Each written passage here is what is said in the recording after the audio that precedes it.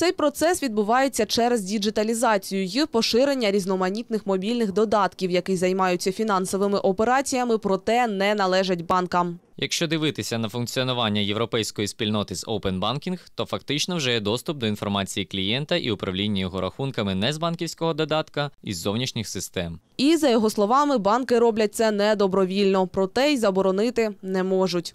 Якщо клієнт розпорядився, а вважається, що клієнт є повним власником своїх даних, банки зобов'язані надавати доступ до його даних і рахунку з інших додатків. Це несе певну загрозу банкам, тому що вони втрачають монополію і напрацьований масив даних, які вони кров'ю і потом заробили, створюючи клієнтську базу. Водночас, як зазначає холод, це робить банківський ринок більш гнучким, а життя клієнта більш зручним.